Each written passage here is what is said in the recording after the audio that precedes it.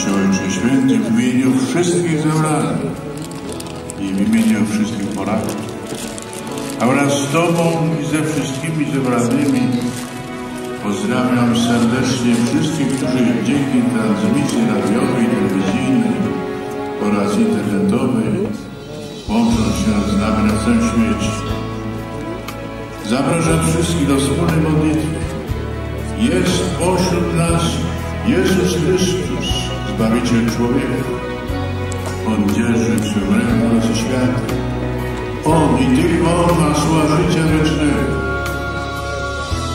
Pamiętamy i modlimy się w Duchu Święty o wszystkich naszych braciach i siostrach, którzy cierpią w naszym niespokojnym świecie.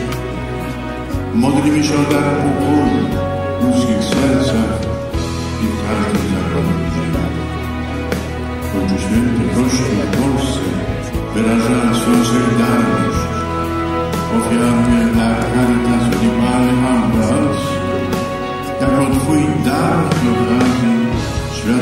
Dnia Młodzieży w Krakowie.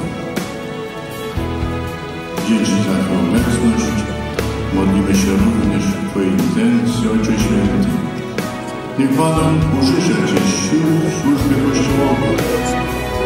Niech wspiera Cię rodownictwo Marii Matki Jezusa, a także rodownictwo świętego Ignacego Loyoli, patrona dnia dzisiejszego.